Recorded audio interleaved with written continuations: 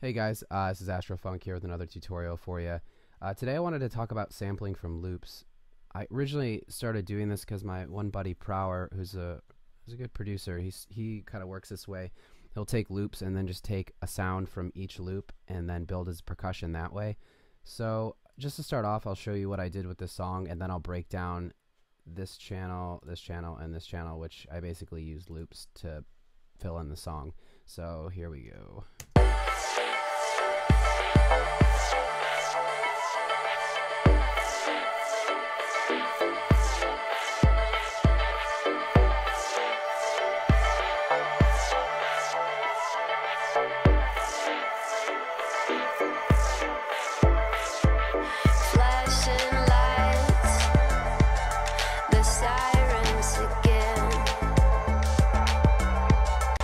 So basically for this intro section, I'll go over this first loop. I put an EQ on it to kind of make it sound lo-fi, but this is what the original sounds like. There you go. And you put this on. And then I just basically edited it to sound better in the song. Uh, let's see. So I took some parts out that I didn't like.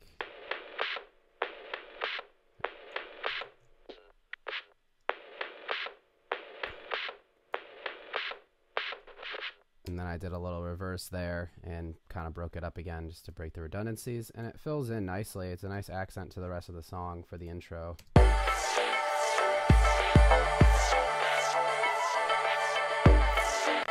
So the next section I'm going to go on to with these other loops, there's actually a lot more to see, um, and I use less components for each of these. So the first one I'll go to is this one, which I basically just took the hat out of this, and I you could tell that I re-edited it just to fill in like these ones are kind of triplets, I think over here. I can't tell, um, but let's just take a listen to it.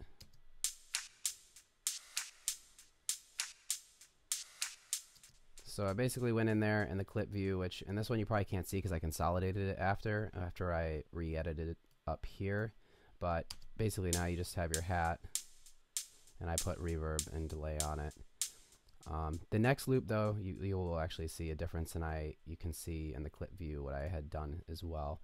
Um, so this is what the original for this one sounds like.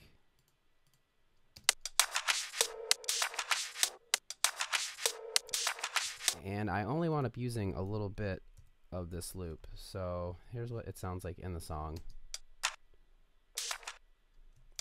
You can see all I did was use uh, the envelope and I just modulated the volume, which you can select down here, and I used the pencil tool and just took out what I didn't want.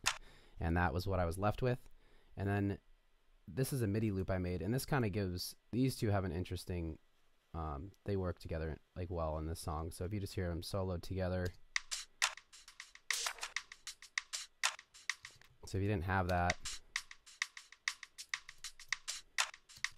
so if you mix these together and hear all your percussion with your kick and your snare, this is what comes out all together.